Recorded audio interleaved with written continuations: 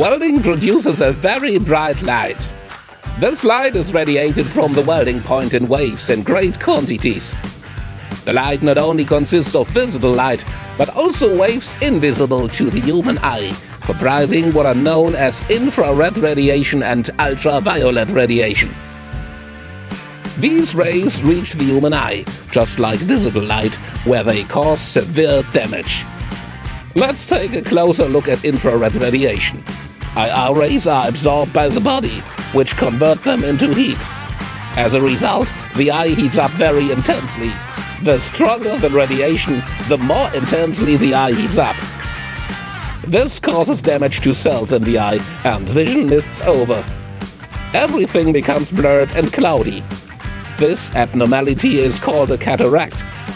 The thing about IR rays is you do not become aware of the damage immediately, since it takes a long time before the effect is felt.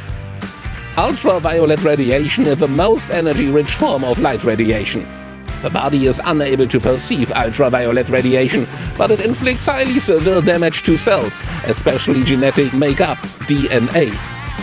We are familiar with UV radiation from sunburn. Eyes too can suffer from sunburn if UV radiation is too strong this is known as flash burn or arc eye. Unlike IR rays, UV rays damage the eye immediately and flash burn is very painful. The UV IR protective filter of an Optrel welding helmet consists of more than 30 individual metal layers.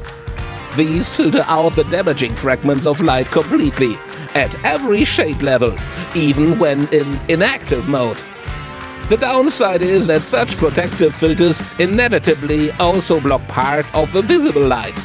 Conventional UV-IR protective filters filter visible light so effectively that only the green parts of visible light waves are able to pass through. That is why surroundings appear almost completely green and dark to welders when they are wearing a welding helmet. The UV-IR protective filters with true color technology developed by Optrel, also completely filter out the damaging parts of light, yet also let through a significantly wider color spectrum while permitting greater light transmittance at the same time. Welders can identify the weld pool more readily, and their surroundings become bright and lifelike. An Optrel welding helmet thus makes a welder's working day much more pleasant, almost as if they were not wearing a helmet at all.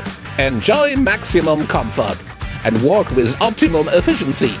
Wear Optrel eye protection while welding. You will always be perfectly protected.